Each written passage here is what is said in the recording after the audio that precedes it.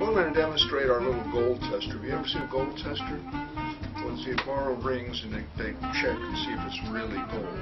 It's very important to be able to test because today the market you can sell gold. Really, it's hard. You know, would you go to a pawn shop and sell your gold? I wouldn't. But anyway, the first thing you want to do is to test the gold to make sure it's really good. So what we're going to do is we're going to. Well, I only, I'm sorry, I turned it too much. I really only wanted to take one little gram. It would be no, but let's see what happened here. I think I overdid it. Oh.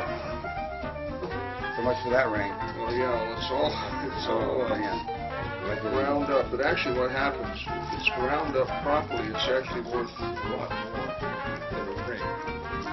And uh, I'll show you what I mean. If you put this on here like this,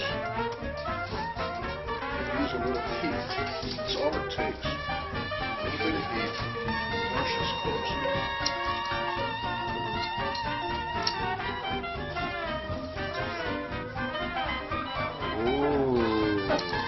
That. Looks like we're back in business. Looks like we're back in business. Thank you.